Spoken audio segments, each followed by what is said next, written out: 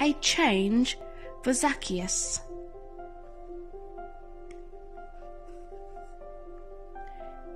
Long ago, there was a man named Zacchaeus. He was a tax collector in Jericho. He took money from people to give to the Romans. Zacchaeus collected more than what was owed and kept the extra money.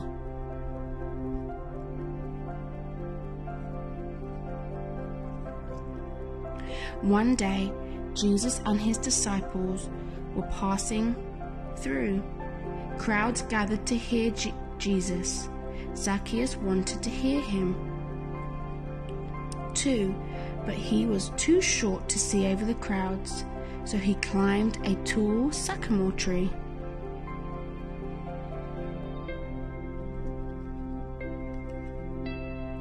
When Jesus passed the tree where Zacchaeus sat, he said, Zacchaeus, come down. I'm going to your house today.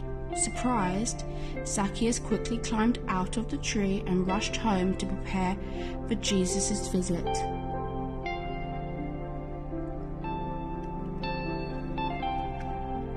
After spending time with Jesus, Zacchaeus was a changed man.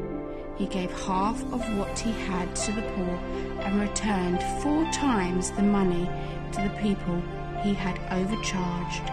This made Jesus happy.